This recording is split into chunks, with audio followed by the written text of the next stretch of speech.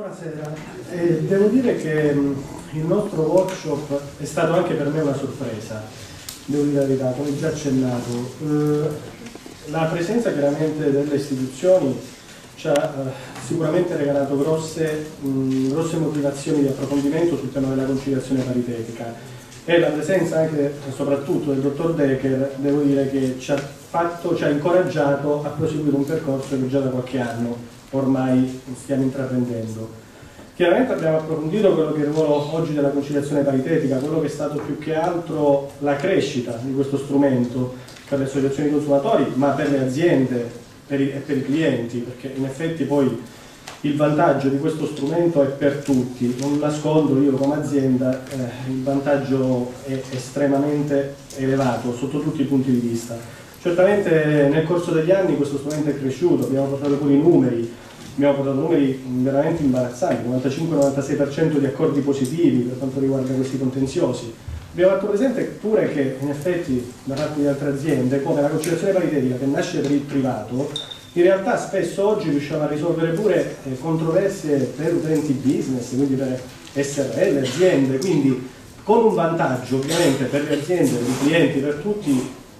di notevolissime entità, non solo dal punto di vista economico, ma dal punto di vista dei tempi, dal punto di vista pure della rapidità della gestione. Basti pensare che in 40 giorni di media noi riusciamo a chiudere un contenzioso.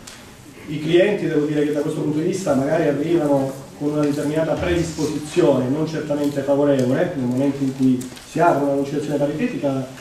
non vi nascondo, anche dall'esperienza personale, essendo nell'operatività ormai da sei anni, che molte volte i clienti restano contenti nelle aziende dove magari, dove magari, queste aziende erano odiate fino a due mesi prima e si notano questa predisposizione ad andare incontro al cliente. Ovviamente questo è stato possibile, questa crescita delle conciliazioni paritetiche è stato messo in evidenza questo, eh, grazie obiettivamente alla sinergia che si è creata nel corso degli anni tra le aziende e le associazioni di consumatori. Non, non nascondo che rispetto a qualche anno fa veramente c'è una collaborazione totale da questo punto di vista. Le associazioni consumatori per le aziende sono preziosissime, non solo per la risoluzione proprio di questi contenziosi, quanto proprio per evidenziare quelle che possono essere poi situazioni, lacune o comunque situazioni magari che non soddisfano il cliente, alle quali comunque le aziende riescono comunque in, te, in tempi comunque ragionevoli a mettere a risolvere, prima ovviamente che magari queste problematiche possano arrivare a determinati livelli e questo non può che essere, come dire, un, un grande risultato per noi, in questo le associazioni consumatori sanno che c'è la nostra massima, dire, in, in massima disponibilità, massimo, massimo, riconoscimento su questo. Devo dire che mh, le conclusioni quali possono essere? Devo dire che ne usciamo devo dire, più,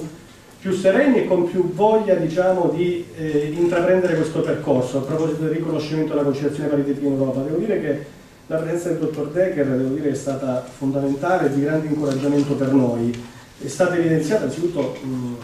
quella che è la best practice è stata riconosciuta in Europa, la conciliazione paritetica. Sono stati fatti complimenti comunque per i risultati della conciliazione paritetica e abbiamo notato, devo dire, un'apertura da parte della Commissione europea a un riconoscimento di questa conciliazione paritetica. Ovviamente nelle forme migliori possibili si lavorerà su questo, però ecco, abbiamo notato, devo dire, questa grande apertura e abbiamo notato tra istituzioni, associazioni consumatori e aziende in effetti siamo sullo stesso livello, in effetti c'è una notevole sinergia, di questo dobbiamo approfittare, dovremmo fare in modo che questo sia solo il primo incontro di una serie di incontri che secondo me potranno portare a un grosso risultato a livello europeo e a un riconoscimento veramente della conciliazione paritetica a livello europeo. Non dimentichiamo, anche la Francia da questo punto di vista è abbastanza avanti, probabilmente la Francia pubblicizza meglio la conciliazione paritetica rispetto a noi.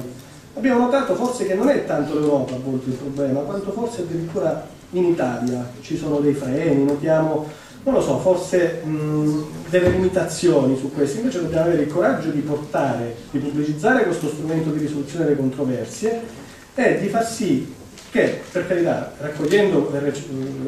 prendendo quelle che è la direttiva europea, considerando la direttiva europea, che proprio da questo punto di vista possiamo sicuramente fare un ottimo lavoro nell'arco del prossimo anno e mezzo, abbiamo questi tempi, e far sì veramente che la conciliazione paritetica venga riconosciuta a livello europeo e portarlo veramente non solo a best practice in Italia, ma proprio a livello europeo farne veramente un modello. Siamo sulla buona strada, devo dire che io dal 2007 diciamo che mi occupo di questo nel corso degli anni, per carità parlo chiaramente delle telecomunicazioni,